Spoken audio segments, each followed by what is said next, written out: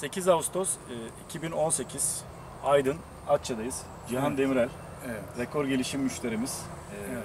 Burada portakal bahçesinde rekor gelişim ürünümüzü kullandılar. E, Cihan Bey öncelikle topraktan başlayıp ağaca kadar bir kısaca özetler misiniz? Neler gördünüz? Nasıl bir değişimler oldu? Şimdi bu toprağım benim aslında geçirgen bir toprak. Evet. Ancak e, bizim bir sıkıntı oluştu zaman içinde. Bizim su kaynağımız e, yüzeyden su aldığı için pH'lı. E, bahçede Yani yapraklar sulama kullandığım suyunuz- sulama suyum kendime ait olan sulama suyum pH yüksekliğinden dolayı verdiğim tabandan verdiğim yapraktan verdiğim hiçbir e, takviye e, gıda ağaçlar alamaz hale gelmişti. alamıyordu. Sararmıştı. E, işte 3 yıl önce bunun araştırması içine girdik. E, bunu ne yaparız, ne ederiz? Tabii ki e, bunun sudan kaynaklandığını öğrendik ama e, toprak gene hasta. Evet. Verdiğimizi gene de inkar ediyor. O zaman bir araştırmada Atça'da ben önce internetten gördüm e, rekor gelişim ürününü. Sonra nasıl bu ürüne erişebilirim derken zaten Atça'da varmış. bayisinin olduğunu öğrendim. Serhan Demirtaş Bey ile irtibatı geçtiğimde o gübre ürünü, gübre demeyelim de toprak Evet. düzenleyici ürünü tedarik ettik ve kullandık. uygulamaya Şöyle, geçtik. şu, şu ağaçların cinsi neydi? Bir onu söyleyelim. Prostover, Portak- Washington e, portakalının Washington, Prostover cinsi. Prostover cinsi bir e, çeşidi bu. Burada şimdi bu ağaçlarımız kullandığımızda ne gibi sorunları vardı? Genelde bu Prostover cinsi çok kuru çalı yapar. Tamam. E, artı ürün tutturmak çok zordur. Zordur. Tabii e, bu ürünü e, tutması için de verdiğiniz besinleri Şunu alması sorayım, gerekiyor. şunu sorayım. Daha önce siz e, bu ağaçlarınızda her türlü uygulama yaptınız. Gübrelemesi, ilaçlaması, ürün tutturması vesaire. Evet, Hepsi evet. vardı, doğru mu? Tabii doğru. Rekor gelişim kullandıktan sonra ürün tutması, sürgün yapması, yaprak rengi, canlılığı bu şekilde ne kadar değişti? Şimdi zaten e, bu bahçeye geldiğim zaman yapraklar bir ara düzeltsen hemen sarı sarı Hemen sarı sarı dönüyordu. Yani e, şöyle söyleyeyim, nefes yetmezliği olan bir insana suni teneffüs E, yapıp evet. bir oksijen verip geri çekmek gibi bir şey. Kimisi bakır noksanlığı diyordu, kimisi çinko noksanlığı diyordu. Tamam. Şu anda Ama durum biz, nasıl? biz bunların hepsini vermemize rağmen bir netice alamıyorduk. Alamıyordunuz. Ama şimdi gene onları Şöyle verme- kameramıza da bakalım. gene vermeye devam ettik. Evet. E, tabii e, ben göremiyorum iş kötü yaprak. Hepsi e, Gayet güzel. Yani e, kara duman gibi evet. diyorlar ya yaprak renkleri simsiyah, kapkara yeşil. Tabii O şekilde. e, bu Şöyle gösterelim. Burada yeni gelen sürgünler de var. Şimdi ürün olmasına rağmen e, şekilde. normalde ürün olanda fazla şu sürgün yeni olmaz. sürgünler de geliyor. Yeni sürgünlerde Devam ediyor. Yürüyor. Şuralardan da gösterelim. ürünler içinde yeter. Bunlar daha iki kat daha büyüklüğü ulaşacak. Ne yani. zaman hasat tarihi oluyor buranın? Yaklaşık. Aralık ayı. Aralık ayına Portakalın geliyor. Hasat tarihi. Aralık ayında hasat geliyor bu çeşit için. Evet. Ee, şöyle gösterelim bu ağacımızda. Bunlar da aynı çeşit. Evet, aynı. Bunlar da aynı çeşit. Şöyle. Şöyle girelim. Burada. Şimdi e, çalışmayan bir toprak yapısında çalışmamasının sebebini öncelikle suyla alakalı yaptırdığınız analize Evet. e, pH ile ilgili yani. bir tespitiniz oldu. pH yüksek olduğu için toprağın kilitlendiği, çalışmadı.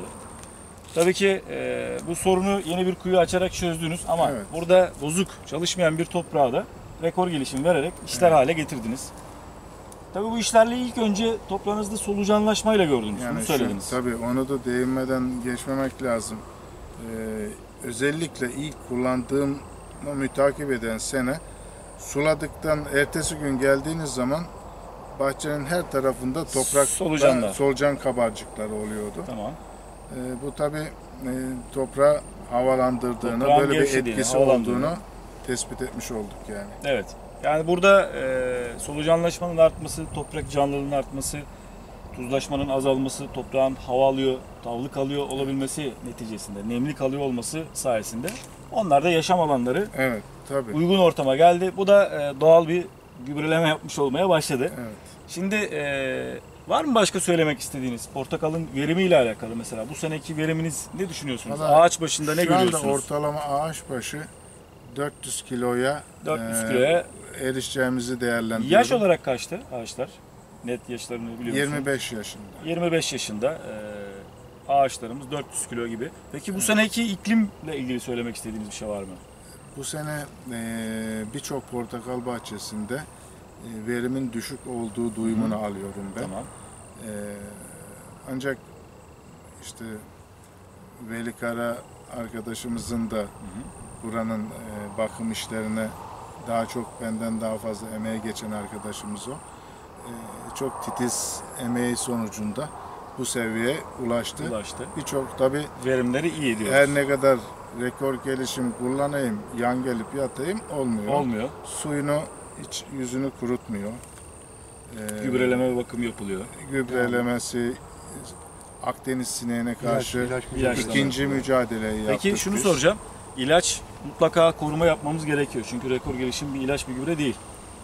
Şimdi koruma yapıyorsunuz. Biz de geziyoruz. Burada doğru dürüst bir sinek vesaire böcek bir pek bir şey takılmadı gözümüze. Gelmedi. Ee, bununla alakalı bir şey var mı? Bir direnç arttırma görüyor musunuz? Yaptığınız e, uygulamalar sonucunda da. E, Şimdi tabii e, biz uygun e, zaten prosedürüne uygun ilaçlar kullandığımız için Hı hı. tuzaklama yöntemleri filan Tamam.